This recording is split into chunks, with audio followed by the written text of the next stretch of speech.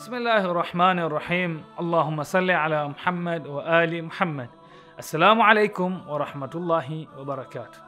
In today's hadith of the day, I'm going to share with you a saying from our sixth holy Imam, Imam Jafar as-Sadiq alayhi salam. Imam as-Sadiq says in Biharul Anwar, Verily, there are various degrees of serving Allah subhanahu wa ta'ala, but affection and cordial inclination for us, the Ahlul Bayt, is the highest one.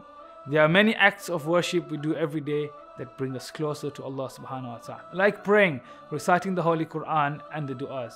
And even simple tasks like working for a good halal livelihood and looking after our families.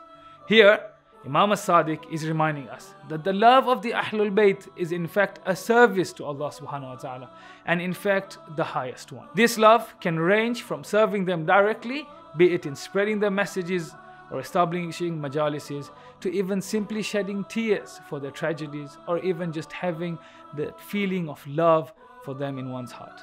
For it is this love that leads us back to Allah subhanahu wa ta'ala, that strengthens our faith, that pushes us towards the other acts of worship to Allah subhanahu wa ta'ala, like our prayer and reciting the Holy Quran.